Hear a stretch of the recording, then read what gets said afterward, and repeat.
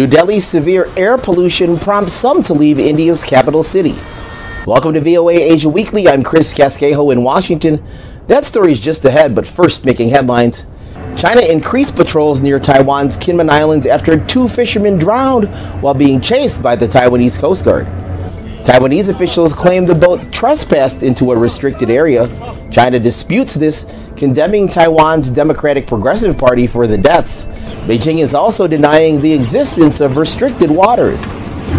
Taiwan protested the Chinese Coast Guard's boarding of a tourist boat, causing panic around the Kinmen Islands. The Chinese crew boarded the King Xia, carrying 11 crew and 23 passengers on Monday for about 32 minutes. Taiwan's Coast Guard escorted the boat back to Kinmen and the voyage resumed. Papua New Guinea will give the military the power to arrest after 26 combatants died in tribal violence on Sunday. Villagers and bystanders were also caught in the crossfire.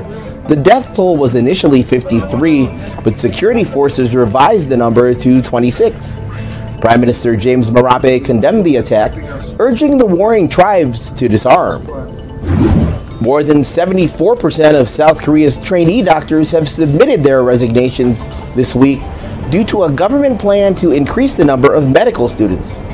As of Wednesday, more than 9,200 trainee doctors had submitted their resignations and about 8,000 had left their work sites, a health ministry official told reporters. The government ordered striking doctors to return to work. Penalties include up to three years in prison a 30 million won or 22,000 US dollars fine, and the revocation of medical license.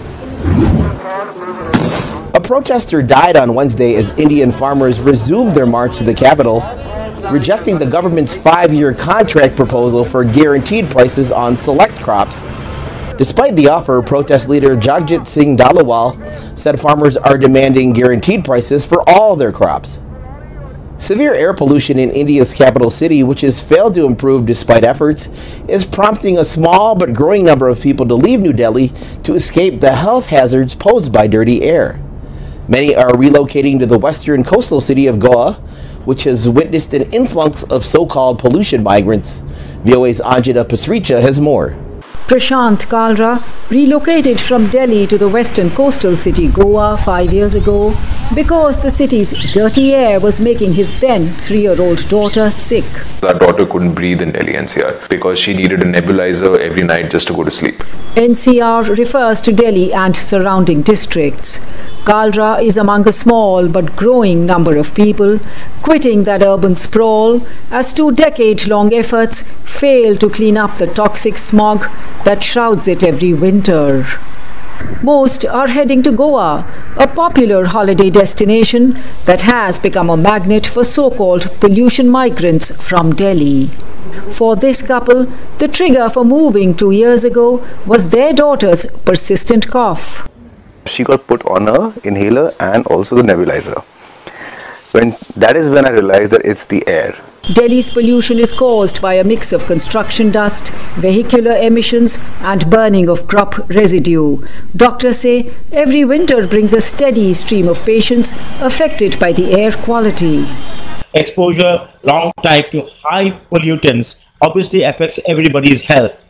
The numbers leaving Delhi have accelerated since the COVID 19 pandemic, which gave the flexibility to work from different locations. When I moved to Goa, I didn't know anybody else right? Uh, now in the span of two years i know probably 20 people who moved here for the same reason. Moving out of delhi is a choice available only to a few. But the trend underscores that cleaning up india's mega cities will be one of the country's biggest challenges as the government sets an ambitious goal of making india a developed nation by 2047 anjana pasricha voa news new delhi Visit voanews.com for the most up-to-date stories. I'm Chris Casquejo. Finally, a big milestone for China's passenger airplane aspirations.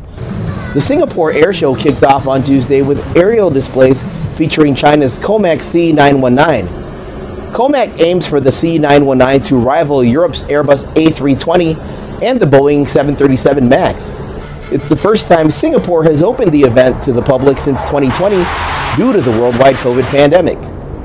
Thanks for watching VOA Asia Weekly.